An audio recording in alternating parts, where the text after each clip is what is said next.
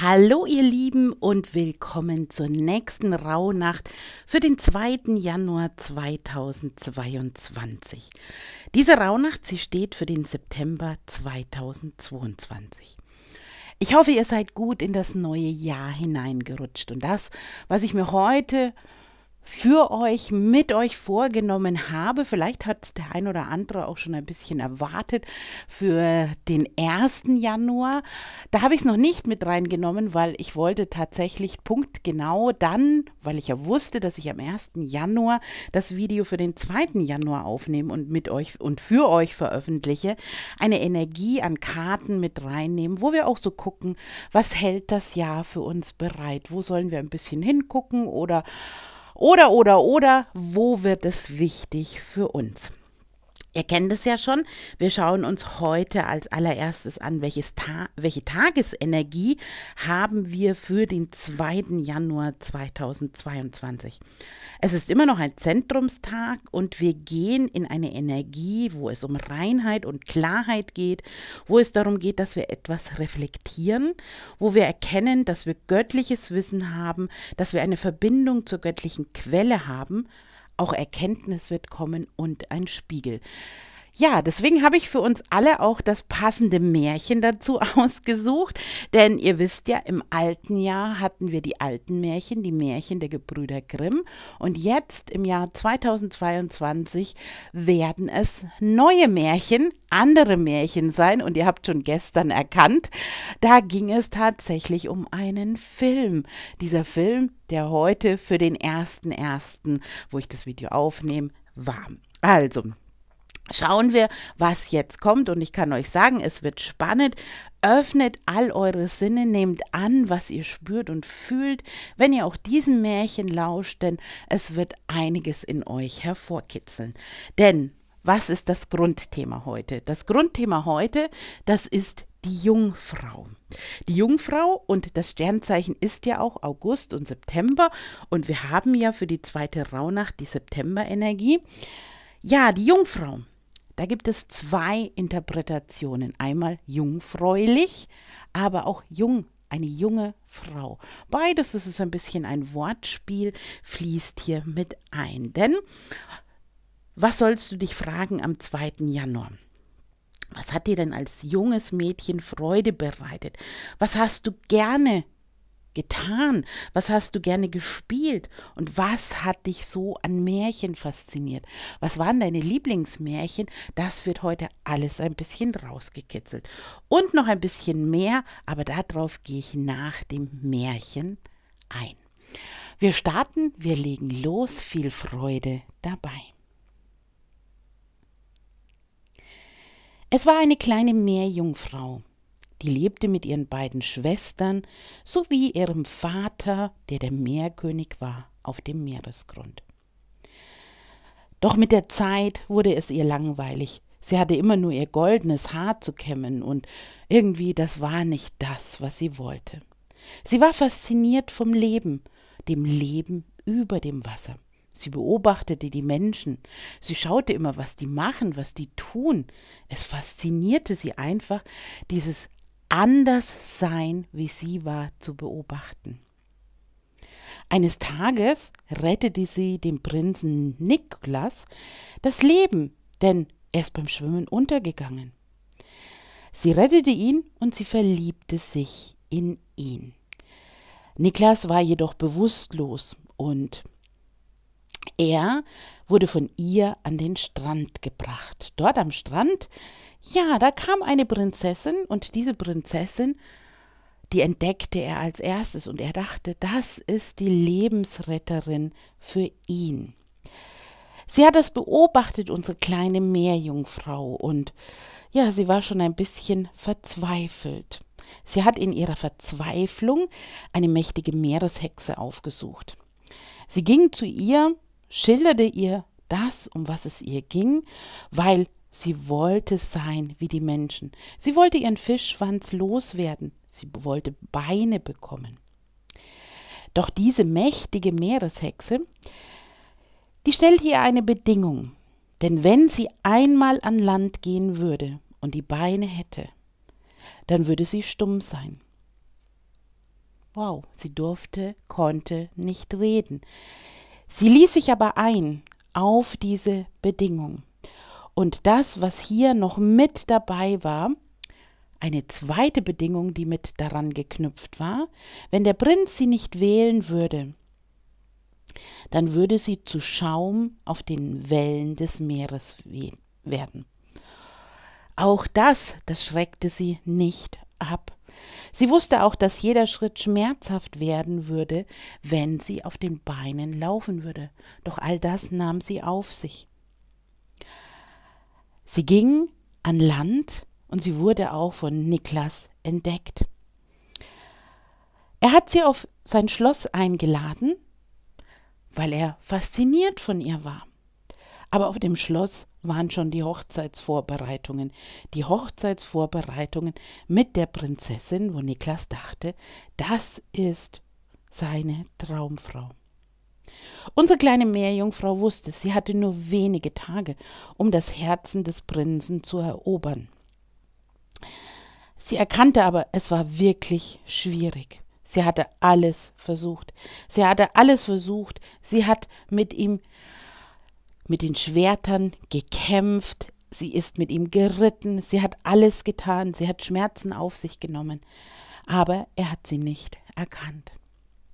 An der Hochzeit von Niklas mit der unbekannten Prinzessin war es so, dass sie natürlich wusste, was jetzt auf sie zukam.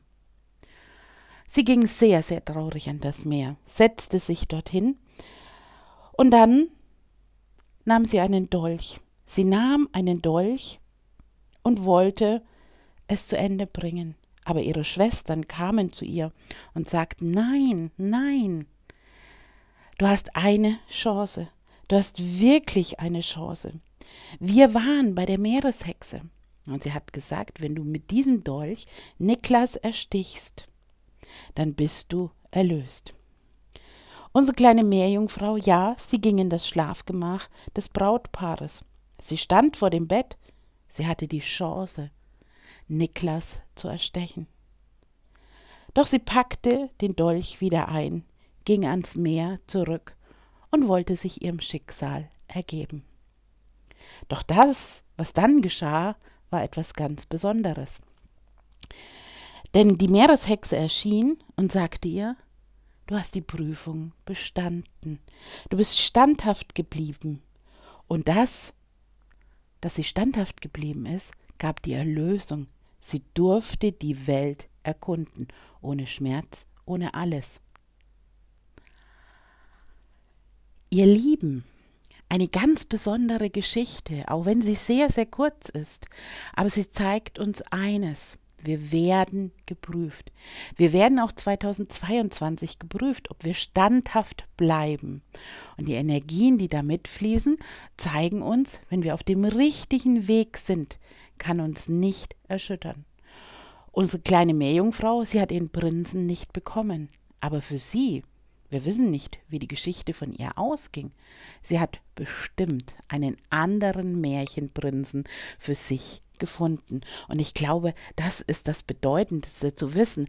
Auch das, was man als allererstes wollte, dass das nicht immer das ist, was das Universum für uns vorgesehen hat, dass da oftmals noch etwas anderes kommt. Sie durfte ihrem Traum nachgehen, sie durfte auf ihren Beinen ohne Schmerzen die Welt erkunden. Und wenn ihr jetzt die Tagesenergie anschaut, die Tagesenergie für den Maya-Kalender für den 2. Januar 2022, wir haben den Zentrumstag, wir wissen, und das haben wir vorhin gehört, es geht um Reinheit und Klarheit, es geht um göttliches Wissen und auch die Verbindung zur göttlichen Quelle. Erkenntnis war dabei, aber auch einen Spiegel, den man vorgehalten bekommt. Also seid euch bewusst, alles, was da kommt, da passiert, ist ein wichtiger Teil für eure ganz persönliche Entwicklung und das soll euch auch vorwärts bringen. Wir kommen zu unserer Aufgabe bzw. zu unserem Thema, was wir hier haben. Wir hatten die Jungfrau und ich hatte euch vor dem Märchen schon gefragt. Was hat euch als junge Mädchen Freude bereitet? Mit was habt ihr gerne gespielt? Und welche Märchen haben euch fasziniert? Stellt euch diese Frage heute ganz, ganz bewusst. Und vielleicht möchtet ihr dieses Märchen, das da ihr als Kind gern gehört habt, noch einmal nachlesen. Denn es hat sicherlich eine Botschaft für euch dabei, die ihr jetzt als erwachsenes Ich nochmal ganz anders aufnehmen könnt, wie als kindliches Ich. Schau einfach mal auch, vielleicht hast du dich als junges Mädchen gerne verkleidet. Auch diese Dinge, die sind sehr interessant, wenn man das nochmal Revue passieren lässt. Ich habe das vorhin, als ich die Texte nochmal durchgelesen hatte, die ich so vorbereitet habe, ein bisschen geschmunzelt, weil ich ganz wunderbare Erinnerungen an all meine Jungmädchenfreundinnen hatte und an viele, viele schöne Dinge, die wir zusammen gemacht und getan und gespielt haben. Und ich habe auch nochmal festgestellt, das sind nochmal ganz andere Dinge, wie jetzt, Next Generation, unsere Kinder es heute tun oder vielleicht auch die Enkelkinder, die schon da sind. Wichtig für dich ist, schau einfach nochmal hin, welche Typrollen hast du als junges Mädchen gerne nachgespielt oder eben mit deinen Puppen vielleicht gespielt, ähm, Situationen, Dinge. Was ist noch hängen geblieben? Was hast du als junge Frau, als kleines Mädchen, was hättest du da gerne erlebt? Was ist vielleicht noch nicht erlebt und möchte jetzt erlebt werden? Schau auch, welche Bedürfnisse, welche Sehnsüchte sind seit deiner Kindheit noch nicht gestillt worden. Auch die kommen zum Vorschein, die wollen angeschaut werden. Und du hast die Chance, mit dem Spiegel der Erkenntnis heute ganz viel, beziehungsweise am 2. Januar ganz viel zu sehen und zu erkennen. Und dann, ja, welche Kindheitswünsche möchtest du dir noch erfüllen? Was ist hier noch, das noch ankitzelt, das angeschaut werden möchte, das in dein Erwachsenenleben mit hineinkommen möchte? Wow, du siehst, es ist einiges am Geschehen. Ich habe für euch auch ein paar Karten gezogen und ähm, die Karten ja, die passen mal wieder wie die Faust aufs Auge. Ich kann das nicht anders sagen, denn äh, das Thema war, ich habe der geistigen Welt gesagt, wir haben jetzt heute, wo ich das Video aufnehme, den 1. Januar. Es ist die Energie des neuen Jahres 2022. Was kommt im Jahr 2022 auf uns zu? Wo sollen wir hinschauen? Was sollen wir transformieren? Was ist eben das Thema. Und da kam als allererstes die Karte göttlicher Zeitplan. Der göttliche Zeitplan, das ist eine Karte, die sagt tatsächlich, ja, du sollst die Türen achten, die sich für dich schließen, aber auch die Türen, die sich öffnen. Gehe durch Türen durch, die sich öffnen, aber lerne auch von denen Türen, die sich schließen. Das ist ein wichtiger Bestandteil. Das ist Transformation pur. Also, Deine Gebete wurden erhört. Der göttliche Zeitplan, der ist natürlich in der Regel immer ein bisschen anders wie der deines Ichs. Also setze dich damit auseinander, dass alles zu der Zeit kommt, wo es für dich gut ist, wo es für dich wichtig ist, wo du für dich etwas umsetzen sollst. Dazu kommt Konzentration. Die Karte Konzentration, da geht es darum, dass du nachdenken sollst, was du möchtest. Achte sorgfältig auf deine Gedanken, denn sie erzeugen etwas. Und da kommt jetzt unser Feuerritual ins Spiel. Ich hoffe, ihr habt schon angefangen, eure Wünsche ans Universum zu schreiben. Ich werde heute auch den Post fertig machen. Der Termin steht. Es ist noch genug Zeit. Ähm, es wird ein bisschen knackig, aber es ist genug Zeit, auch aus dem Ausland Briefe zu schicken. Die Briefe werden ankommen und wir werden wieder zum passenden Tag. Und diese Energie, ich hatte sie schon seit gestern, aber gestern habe ich es dann doch nicht ganz geschafft, den Post fertig zu machen. Wir werden das Feuerritual machen. Denn was kommt hier, und das ist die Bestätigung, wir, unterhalt, äh, wir äh, erhalten Unterstützung von oben. Die geistige Welt ist an unserer Seite. Und das ist doch, das ist eine schöne Botschaft. Das heißt, wir werden erhört. Wir werden erhört. Sie sind dabei. Sie, sie lieben uns, die geistige Welt. Wir werden geschützt, wir werden geführt. Und für uns ist die Botschaft hier, die zurückkommt, ja, sie, wir sind geliebt. Wir sind geliebt und wir werden geschützt bei allem, was auf uns zukommt. Das ist doch schon mal einfach wow und einfach schön, ihr Lieben. Ja, ich bin für heute am Ende angekommen, denn ihr wartet ja auf ein Posting von mir. Das wird vielleicht sogar ein bisschen eher hier wie das Video online gehen, aber so hört ihr es doppelt gemoppelt, dass das kommt. Ich schicke euch für heute ganz viel Licht und Liebe. Bin sehr gespannt dann auf die nächsten Tage noch mit den Rauhnächten mit euch und natürlich auch auf das Feuerritual.